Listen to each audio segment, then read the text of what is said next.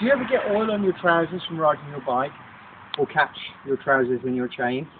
Simple answer. A roll of tape round the bottom of your trousers.